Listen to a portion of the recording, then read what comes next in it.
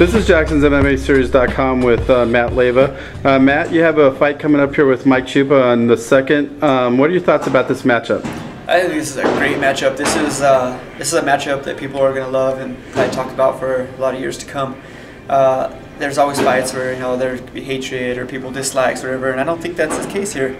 Um, I think it's going to be one of those fights where you know the two opponents they have mutual respect for each other, and I believe. Uh, you know, those make for the best fights. You know, we're not going to back down. We're going to push forward, and you know, at our weight class, it's going to be pretty fast paced and uh, really excited. And um, you have a lot on your plate. You have two little ones. You're completing school. Um, how do you balance all of this out with your training? It's life. You know what I mean? Um, you know, like, like say with the kids and school and everything. Um, you know, you got to get that time in wherever you can. If that takes uh, me waking up at five o'clock in the morning to go do something, or you know, be out till midnight still working out. You know, so be it. You just you just got to get ready for the fight no matter what, and you know, fit life in where you can, and just keep just keep doing what you have to do.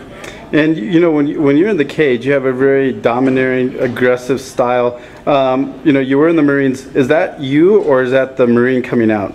Um, you know, that's that's a good question. Actually, uh, a lot of that is me, and probably what the Marines did was, you know, if I focus that and harness it and allow me to use it, you know, to my advantage. Um, you know, being you know overseas and in combat and training and everything I did in the Marines, you know, that that prepared me for life and prepared me for the battles.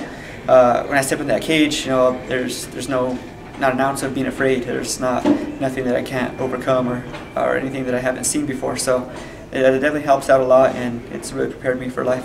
And it also seems you like you truly enjoy the process of getting ready for a fight, and you enjoy the actual fight. I mean, there's some fighters who, who fight, you know, for various reasons, but you, you actually enjoy the whole thing, don't you? I do. It's great. It's a great experience. Um, I've always believed that you don't get better, you know, because of your fights. You get better training for fights. You know, fighting Mike Chupa, you know, a guy at this caliber, you know, this level of toughness, you have to train very, very hard for that.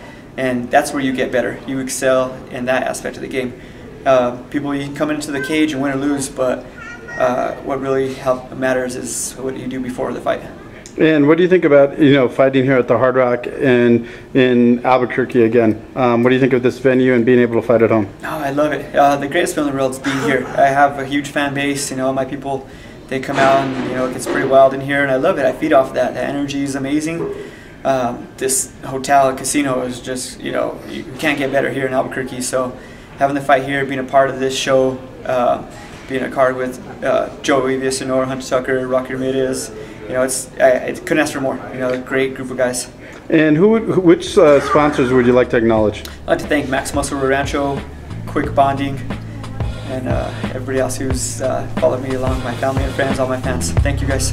Okay, well, we look forward to the second and your matchup. Appreciate it. Thank you. Thank you.